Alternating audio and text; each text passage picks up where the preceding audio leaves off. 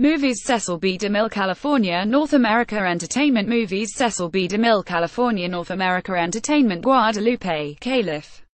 App. Archaeologists working in sand dunes on the central California coast have dug up an intact plaster sphinx that was part of an Egyptian movie set built more than 90 years ago for Cecil B. DeMille's epic, The Ten Commandments. The 300-pound sphinx is the second recovered from the Guadalupe Nipomo dunes. Dunes Center Executive Director Doug Jensen tells Santa Barbara news station KEYT-TV that it's unlike other items found on previous digs because most of it is preserved with the original paint intact. The set of the 1923 movie included more than 20 sphinxes. After filming, DeMille ordered everything buried in the dunes 175 miles northwest of Los Angeles. They lay undisturbed for decades before recovery efforts began.